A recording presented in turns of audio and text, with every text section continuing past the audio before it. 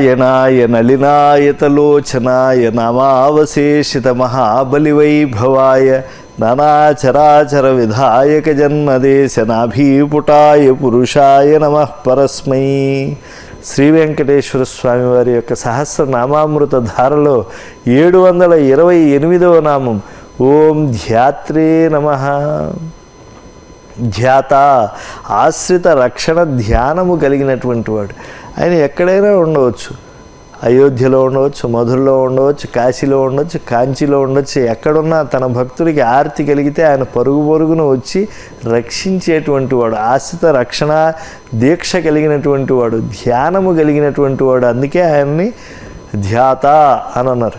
ఎక్కడో హే కృష్ణ ద్వారకావాసిని ఎక్కడున్నది ద్వారక ఆనాడు ఆయన గోకులం విడిచిపెట్టాడు. ఆ నందవ్రజం నుంచి ఆయన మళ్ళా మధురకు వచ్చాడు. ఆ మధుర నుంచి మళ్ళా ద్వారకి వెళ్ళాడు. సముద్రంలో ఉంది అది ద్వారక. అక్కడ ఉండేటువంటి ద్వారకలో ఉండేటువంటి వాడు ఇక్కడ హస్తినాపురంలో మరి కష్టం వస్తే ఎదురుకుండా ఐదుగురు భర్తలున్నా కూడా అందరూ కూడా పరతంత్రులైపోయి దుర్యోధనుడి యొక్క ధూర్త వాక్యాలకి ఆక్రోషం చెందుతూ ఉంటే ద్రౌపది నిస్సహాయ స్థితిలో దుశ్శాసనుడు ఏకవస్త్రగా ఉండేటువంటి ఆవిడ యొక్క చీరను లాగుతూ ఉంటే హే కృష్ణ ద్వారకా వాసిన్ అక్కడ వరకు బాగానే ఉంది. క్వాసి యాదవనందన. ఎక్కడున్నావయ్యా నువ్వు? అంటే ఆయన ఎక్కడైనా ఉండొచ్చు. శరీరం పొందాడు కనుక అది అలా ఉంటుంది. కానీ ఆయన్ని మనలాంటి జరామరణములు కలిగినటువంటిది కాదు. అలా జరామరణములు ప్రదర్శించేటువంటిది ఆయన్ని. కానీ ఆయన మంగళకరమైనటువంటి మూర్తి. నువ్వు ఎక్కడున్నావయ్యా? అంటే నీ అనుగ్రహం ఎక్కడుందయ్యా? నా యొక్క రక్షణ పట్ల నువ్వు ధ్యానం లేకుండా ఉన్నావా?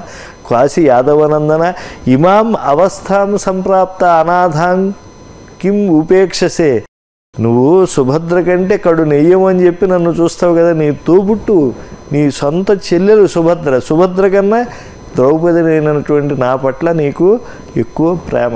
అటువంటిది ఈనాడు ఇంత కష్టం ఈ కురుసభలో వస్తే ఆపఘాతనూజుడున్నాడు అస్త్రవిద్యక పరమావధి అయిన ద్రోణుడున్నాడు ఒక కృపాచార్యుడు ఉన్నాడు విదురుడు లాంటి వాళ్ళు ఉన్నారు. ఎవరు పన్నెత్తి మాట అన్నా వినేటువంటి స్థితిలో లేనటువంటి దుర్యోధన కౌరవుడి యొక్క సభలో ఇంత ధూర్తత్వం జరుగుతూ ఉంటే స్వామి ఎలా ఉపేక్షిస్తున్నావయ్యా? అని అంటే ఆ భక్త రక్షణ దీక్ష ధ్యానం కలిగినటువంటి స్వామి వెంటనే అక్షయమైనటువంటి ఆమెకు ఆ యొక్క శారీకల్ని ఇచ్చేశాడు.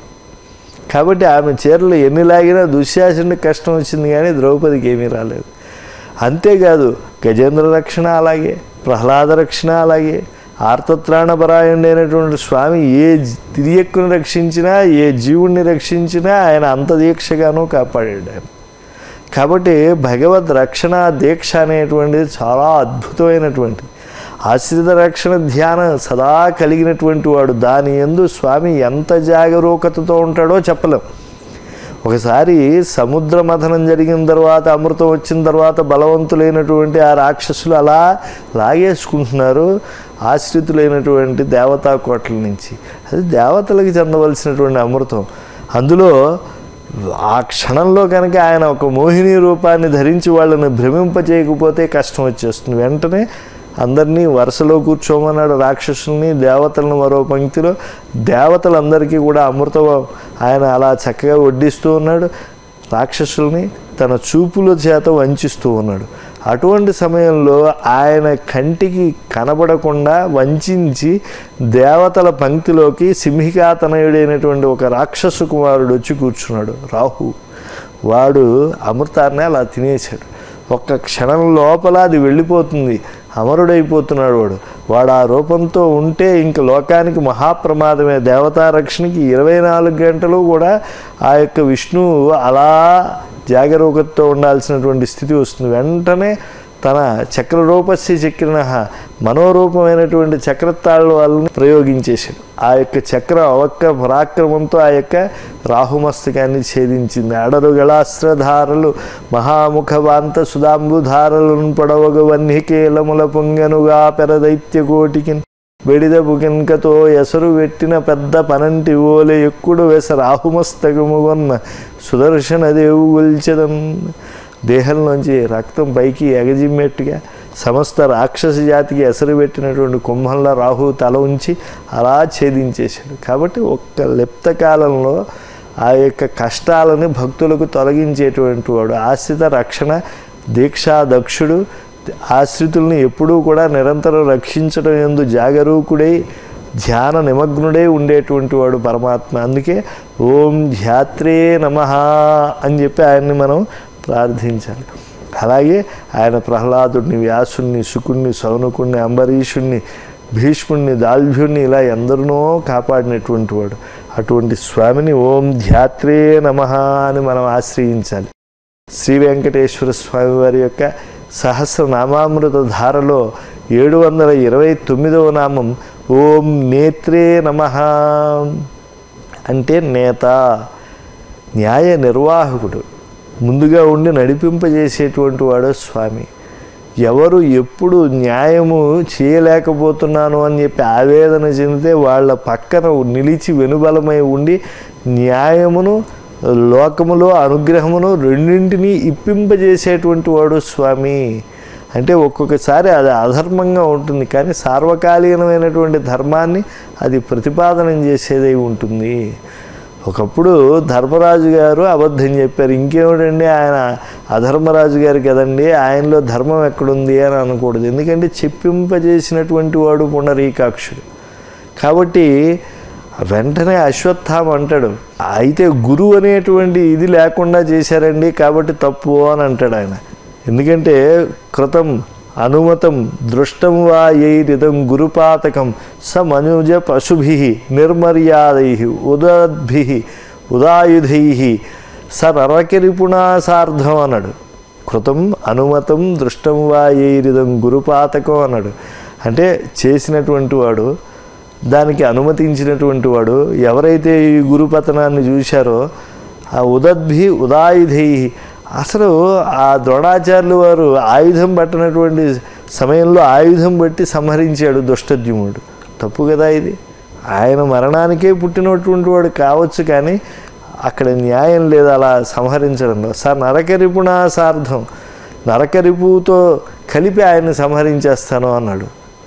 కృష్ణుని సంహరించడం అశ్వత్థామకి అయ్యే పనే.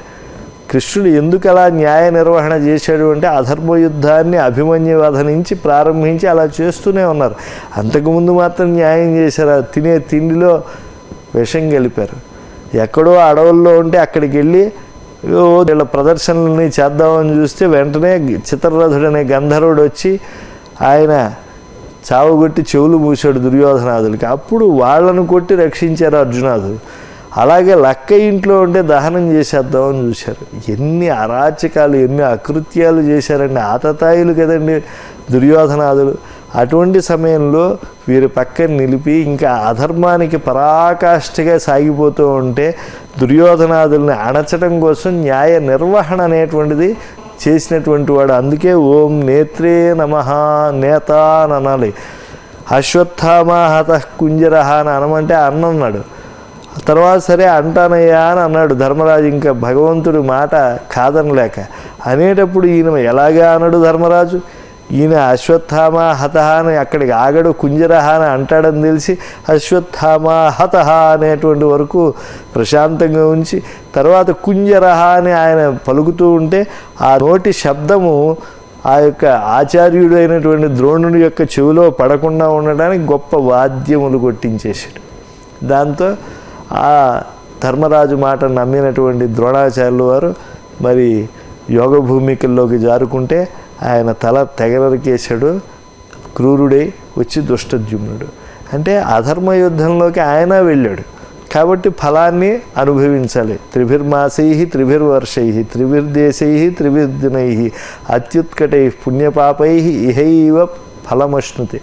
వైరాగ్యంతో అలా భరద్వాజ శిష్యుడు ఆశ్రమ జీవితానికి వెడుతూ ఉంటే కేవలం అశ్వత్థామకి పాలు లేవని చెప్పి మళ్ళా ఆశ్రమ జీవితం నుంచి అస్త్ర విద్యకు గురువై వచ్చి లౌకికంగా అనేకమైన భోగాలు అనుభవించి అనేకమైనటువంటి ఆ యొక్క అధర్మ కార్యాలను ఉపేక్షించి కేవలం జీవనం కోసం ధర్మ మార్గాన్ని విడిచిపెట్టడం వల్ల ధర్మాన్ని ధర్మమని ఎప్పుడు ఉగ్గడించకపోవటం వల్ల ఆయన అటువంటి స్థితిని అనుభవించవలసి వచ్చింది. కనుక ఎవరి పట్ల న్యాయం ఉంటుందో వారి పక్కన తాను నిలిచి అవతల వాళ్ళ పరాక్రమాన్ని వాళ్ళ యొక్క నైపుణ్యాన్ని వాళ్ళ యొక్క అనుభవాన్ని వమ్ము చేసి తన వారిని రక్షించేటువంటి వాడు భీష్ముడు యుద్ధమరణం కోరుకున్నాడు క్షత్రియుడిగా. కనుక ఆయనకి యుద్ధమరణాన్ని ఇచ్చాడు. కనుక అలాంటివి ఎప్పుడూ కూడా ఇచ్చేటువంటి వాడు ఒక న్యాయ నిర్వహణ దక్షుడు గొప్ప నేత. అందుకే ఆయన్ని మనం కీర్తించవలసింది ఎప్పుడూ కూడా సదా ఓం నేత్రే నమ. అలా కీర్తించడం వల్ల మానవ జీవితం చరితార్థమైపోతుంది. న్యాయ నిర్వాహకుడైనటువంటి శ్రీ వెంకటేశ్వర స్వామి వారి యొక్క అనుగ్రహం సంపూర్ణంగా భాగవతులకు లభించి వాళ్ళు పునరావృత్తి రహితమైనటువంటి మోక్షాన్ని పొందుతారు. శ్రీ వెంకటేశ్వర స్వామి వారి యొక్క సహస్రనామాల్లో ఏడు వందల ముప్పయో నామం ఓం సమాయ నమ. ఆయన సర్వసముడు స్వపర భేదము లేనటువంటి సమదృష్టి కలిగినటువంటి వాడు. అందుకే ఆయన చెప్పాడు సమోహం సర్వభూతేషు నమోద్వేష్యోస్తిన ప్రియ. అయ్యా ఎవరో నా వాళ్ళని కొంతమంది అనుకుంటారు. కొంతమంది పరాయి వాళ్ళనే అనుకుంటారు. నిజానికి నేను ఎవరి వాడిని కాదు. ధర్మపక్షపాతిని సత్యపక్షపాతిని. అదే కౌరవ సభలో ఆయన సారపు ధర్మము విమల సత్యము పాపము చేత బొంకుచే పారము పొందలేక చెడబారినదైన వ్యవస్థ దక్షులెవ్వారులు ఉపేక్ష చేసినది వారల చెటుగు గాని ధర్మనిస్తారకమయ్యు సత్య శుభదాయకమయ్యును దైవముండెడు సత్యాన్ని ధర్మాన్ని ఎప్పుడూ దక్షులైనటువంటి వారు ఉపేక్ష చేయకండియా ఎందుకంటే నేనే పూనుకుని వాటిని రక్షిస్తాను అన్నాడు. కందువగు హీనాధికములిందు లేవు. అందరికీ శ్రీహరియే అంతరాత్మ. ఎవరైనా చిన్న పురుగు రూపంలో ఉండొచ్చు కర్మల చేత. లేదా ఒక మహోన్నతమైనటువంటి ఒక అద్భుత భోగాలను అనుభవించేటువంటి స్థితిలోనూ ఉండవచ్చు. కానీ ఎటువంటి జన్మ పొందినా కూడా అందరి పట్ల సమదృష్టితో ఉండేటువంటి వాడు శ్రీ వెంకటేశ్వరుడు. వారందరినీ కూడా రక్షిస్తాడు. వారికి ఆనందాన్ని అనుగ్రహిస్తాడు. వాళ్ళ జీవితాన్ని వాళ్ళకి గొప్పదిగా భావించేట్లుగా చేస్తాడు. మనం ఏ స్థితిలో ఉన్నామో మనం బాగున్నాం అనుకుంటాం. అయ్యో వీడి బతుకు ఇలా ఉంది అని వేరే వాడు అనుకుంటాడు. ఒక మహర్షి అనుకుంటాడు సామాన్యుని చూసి నేను ఏదో చాలా గొప్ప మేడలో ఉన్నాను ఓడపై విహరిస్తున్నాను పెద్ద గోడలు కట్టుకున్నాను అని వీడు అనుకుంటున్నాడే. అయ్యో ఉత్తమమైనటువంటి మానవ జన్మ పొంది ఎవరిని స్మరించాలో అటువంటి భగవంతుడిని స్మరించలేకుండా వీడు ఇచ్చినటువంటిది ఒక నదిని దాటడానికి ఒక నౌక అనేటువంటిది ఎంత గొప్పదో అలాగే ఈ సంసారాన్ని దాటడానికి ఒక నౌక వలె ఈ జీవితానికి ఒక ధర్మకార్య నిర్వహణ ద్వారా పునరావృత్తి రహితమైనటువంటి మోక్షాన్ని పొందటానికి ఒక దేహాన్ని ఇచ్చాడు. ఇంతకన్నా ఉత్తమమైనటువంటి దేహం లభించదు కదా మళ్ళా. ఇటువంటి శరీరం వచ్చినప్పుడు జంతువునాం నరజన్మ దుర్లభం అని చెప్పి చెప్తూ ఉన్నారే. గొప్ప జన్మ వచ్చింది. వచ్చినప్పుడు దాన్ని సద్వినియోగం చేసుకోకపోతే వాడు ఏమైపోతాడు వాడు? కాబట్టి మహర్షులంతా ఏమనుకుంటారో అయ్యో అనుకుంటారు. కానీ వారి వారి కర్మల అంతస్తుల కొలది భక్తి అంతస్తుల కొలది వారికి సుఖాలని భోగాల్ని శాశ్వతత్వాన్ని అనుగ్రహించేటువంటి వాడు. సమూహం సర్వభూతేషు. అన్ని భూతముల యందు సమభావన కలిగినటువంటి వాడు సమదృష్టి కలిగినటువంటి వాడు. ఎలా అయితే వెన్నెల అటు పూలపైన ఇటు పొరిముండ్లపైన సమానంగా ప్రసరిస్తుందో భగవంతుడు ఓషరక్షేత్రాలలో కానీ మహద అరణ్యాల్లో కానీ లేదా అనేకమైనటువంటి ఉద్యానవనాల్లో కానీ కొండలపై కానీ అలాగే నదీ జలాల్లో కానీ ఎక్కడైనా వర్షించే మేఘంలాగా అలాగే ఆ యొక్క వేడిమినిచ్చేటువంటి సూర్యుడిలాగా అలాగే చంద్రుడు ఏ విధంగా అయితే చల్లదన అన్ని చోట్ల పంచుతూ ఉంటాడో అలాగా ఒక్కొక్కళ్ళకి ఒక్కో రకమైన భావన కలగవచ్చు. ఒకరికి చంద్రోదయం విరహాన్ని కలిగించు దుఃఖాన్ని కలిగించవచ్చు. ఒకరికి చంద్రోదయం భార్యతో హాయిగా ఉండటానికి ఆనందాన్ని కలిగించవచ్చు. ఒక పసిపిల్లవాడికి చంద్రోదయం అద్భుతమైనటువంటి ఒకనొక ఉత్సాహాన్ని ఇవ్వవచ్చు. ఒక చిన్నపిల్లవాడు ఆకలితో ఏడుస్తూ ఉంటే ఎర్రబడ్డటువంటి ఆ చంద్రుడు మరో రకంగా కనిపించవచ్చు. కాబట్టి అరుణిమ లేదా అనురాగానికి కానీ విద్వేషానికి కానీ దేనికైనా అది కనిపించవచ్చు కానీ జీవులందరి పట్ల కర్మానువర్తి అయి కర్మసూత్రము చేత నడిపించేటువంటి స్వామి మాత్రం సర్వసముడే అందుకే ఆయన యొక్క తత్వాన్ని మహత్వాన్ని తెలుసుకోవాలి అని అంటే ఓం సమాయ నమ అని కీర్తించడమే సమంజసము అని వేదవ్యాసులు వారు చెప్పారు. అటువంటి సత్యాన్ని తెలుసుకుందాం ధర్మాన్ని. అలాగే అద్భుతమైనటువంటి శ్రీనివాస పదభక్తిని శరణాగతిని మనం కలిగి ఉందాం. మన పట్ల స్వామి మోక్షాన్ని ఇచ్చేటువంటి చేపట్టు కుంచముగా మనం భావించి శ్రీ వెంకటేశ్వరుని శ్రీచరణాలను ఆశ్రయించి మానవ జన్మను తరింపజేసుకుందాం. శ్రీ వెంకటేశ్వర స్వామి వారి యొక్క సహస్రనామామృత ధారలో ఏడు వందల ముప్పై ఒకటో నామం ఓం అసమాయ నమ. అసమహ అంటే సాటి లేనటువంటి వాడు. అన్యూనాధికమైనటువంటి ఆయనంతటి సామర్థ్యం కలిగినటువంటి వాడు మరొక్కడు కనిపించడు ఏదో వాసుదేవుడు ఉన్నాడు కదా అని వాడెవడో కాశీనగరంలో పౌండ్రక వాసుదేవుడు అనేటువంటి వాడు ఈయన వలె శంఖచక్రాలు ధరించి ఆయన కీర్తి వస్తుందని తాను కూడా కొయ్యతో శంఖము చక్రము పెట్టుకున్నట్ట. పెట్టుకుంటే మాత్రం ఆ శంఖం శంఖం అవుతుందా ఆ చక్రం చక్రం అవుతుందా. పాంచజన్యము హృషికేశ అని చెప్పి ఆ ఇంద్రియాలను నియమింపజేసేటువంటి ఆ స్వామి పాంచజన్యాన్ని పూరిస్తే అవతల వాడు గుండె ఆగి చచ్చిపోతాడు. అలాంటిది పంచజనుల్ని సంహరించడానికి ఉన్నటువంటిది ఆ పాంచజన్యం. ఆయన సుదర్శన చక్రాన్ని విరిచిపెడితే ఆ యొక్క సూర్యుడు ఉదయించేటువంటి వాడు కూడా అలాగే నిస్తేజం అయిపోతాడు ఆయన కోటి సూర్య ప్రభాభాసమానమైనటువంటి చక్రం ముందు ఆ యొక్క సూర్య తేజస్సు అనేటువంటిది మిణుగురు పురుగు సూర్యోదయం తర్వాత ఎలా అయితే విలువ లేకుండా పోతుందో అలా అయిపోతుంది. ఆయన చక్రాన్ని ప్రయోగించాడు అని అంటే అంబరీషుడు గొప్ప రక్షణ పొందుతాడు. దూర్వాసుడు అంతటి మహర్షి ముల్లోకాలు దిక్కు లేక పరుగులు పెడతాడు.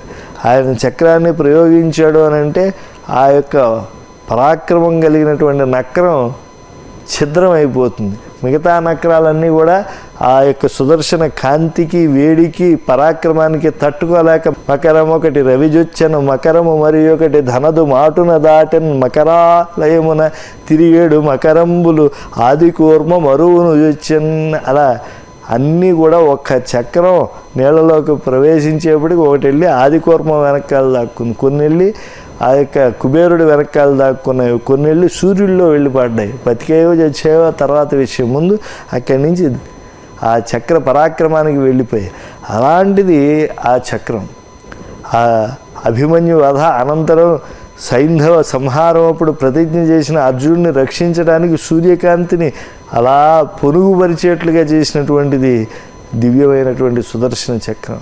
క్షణకాలంలో రాహుమస్తకం ఛేదించినటువంటిది సుదర్శన చక్రం. ఆశ్రితులైనటువంటి భక్తుల యొక్క కష్టాలని స్వామి పక్షాన ఛేదించేటువంటి సుదర్శన చక్రం.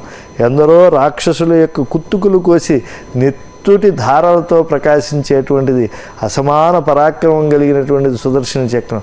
అలాంటి శంఖ చక్రాలు కలిగినటువంటి వాడు స్వామి. కాబట్టి అటువంటివి పెట్టుకున్నటువంటి పౌండ్రక వాసుదేవుడు వాసుదేవుడు అవుతాడా?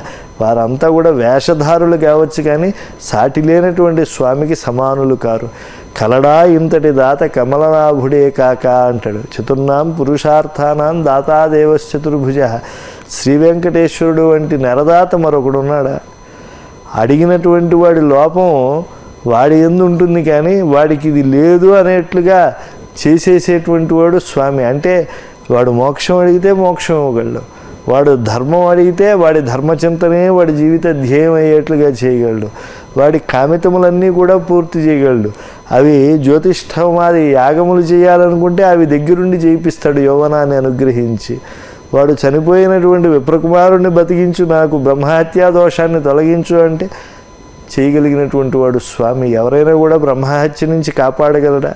సకృత్ సేవయా నిత్యసేవా ఫలంతం ప్రయచ్ఛ ప్రయచ్ఛ ప్రభో వెంకటేశ అంటే ఏదో అల్పమైన సేవ చేస్తాను స్వామి. అల్పమైనటువంటి ఫలాన్ని నువ్వు మాత్రం ఇచ్చేయంటే ఏ దేవుడైనా ఇస్తానంటాడా? ఒక్క వెంకటేశ్వరుడే కలియుగంలో ఇస్తాడు. అందుకే భక్తి కొలది వాడే పరమాత్ముడు చేబట్టు కొంచెము పరమాత్ముడు ఇత్యాది కీర్తనలు ఎందుకు వచ్చాయి? అంటే ఏ విధంగా అయితే భక్తితో ఉంటే పరమాత్మ సర్వసులభుడైపోతున్నాడు పట్ట పగటి వెలుగైపోతున్నాడు పచ్చి పాలలో వెన్న అయిపోతున్నాడు స్వామి. అలా పసిబిడ్డ మరీ బాల్యంలో ఉన్నప్పుడు ఎవరు పిలిచినా ప్రేమతో పిలిస్తే ఎలా వెళ్ళిపోతారో అలాగా భగవంతుడు ఎవరు పిలిస్తే వారి వెంట వెళ్ళిపోతారు. అలా వెళ్ళగలిగినటువంటి వాళ్ళు ఎవరైనా ఉన్నారా ఈ లోకంలో? రక్షణ ఇవ్వగలిగినటువంటి వాళ్ళు ఎవరన్నా ఉన్నారా? భక్తి శరణాగతితో ఆశ్రయిస్తే పూర్వపు పాపములన్నీ క్షణకాలంలో తొలగించేటువంటి వాళ్ళు ఎవరన్నా ఉన్నారా? ఒక్క వెంకటాచలంపై ఉండేటువంటి శ్రీ వెంకటేశ్వరుడే. అందుకే ఆ స్వామినే కీర్తించేటువంటి నామం ఓం అసమాయ నమ స్వామి.